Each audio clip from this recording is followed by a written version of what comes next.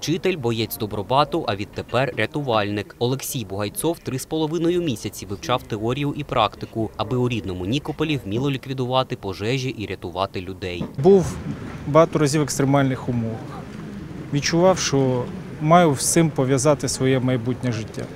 Тому і пішов в службу, де треба людей не вбивати, а рятувати. Жінка мене підтримує, вона завжди підтримує мій вибір, і коли йшов добровольцем на схід, і зараз. Окрім пана Олексія, свідоцтва про освіту у Дніпрі отримали 59 пожежних рятувальників. Усі вони вже завтра заступають на чергування по області. Під час урочистостей шістьох працівників підрозділів нагородили відзнаками за відвагу. Служи українському народу. Державна служба з надзвичайних ситуацій Дніпропетровщини оновлюється не тільки особовим складом, а й технікою. Так область отримала п'ять сучасних пожежних машин і один спеціальний аварійно-рятувальний автомобіль. Це мази, що їх збирають в Україні спільно з мінським автозаводом. Возить автомобіль 400 літрів піноутворювача і 4 тонни води. Е, Зокрема, цього, А старі машини скільки там у нас Е, е, тонн?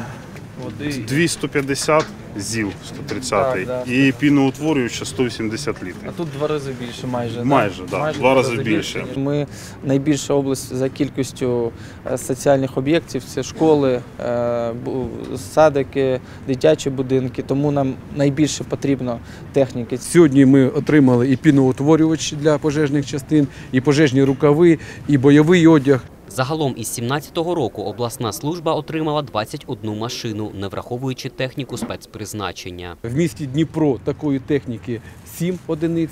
Це в кожному районі ще одну нам треба, щоб оснащити е, весь Дніпро цією технікою. А також місто Кривий Ріг е, у нас ми теж направляємо Кам'янське, три одиниці вже мається. Е, Є у нас в Петриківці, в П'ятихатках, Новомосковськ, Павлоград. Тобто ми оснащуємо наші підрозділи по ходу отримання цієї техніки.